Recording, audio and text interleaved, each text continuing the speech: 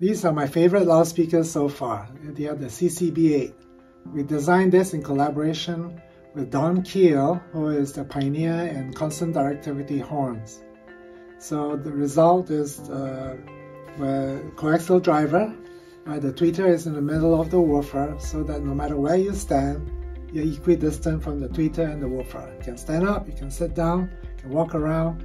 The uh, image would uh, stay very stable and the, uh, the tonal character stays the same. So you can sit down, stand up, tonality doesn't change.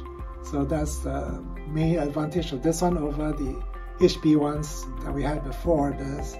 Um, and it has a fantastic image, it's solid and seems detached from the main speakers. Uh, and you can walk around and the sound stage still stays the same. Let's now go to the uh, construction of the driver. So as I said, this is a coaxial driver, and to make this work properly, we need the, uh, the tweeter is mounted on the back, and it fires through the uh, pole piece and then through the cone of the woofer. So the pole piece, the inside of the pole piece is machined to be the starting part of the horn, and the cone is molded to be continuation of that horn. So this is a constant directivity horn. And uh, so the tweeter, by going through the horn, is extremely efficient, about 10 dB more sensitive than the woofer itself. Um, and so this is fantastic in sound quality.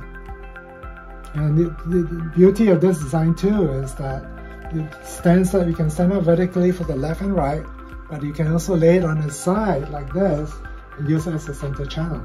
And because the frequency response and the tonality doesn't change, so laying down or standing up, is not exactly the same, so you have perfect timbre matching of the three front speakers with the same uh, speaker.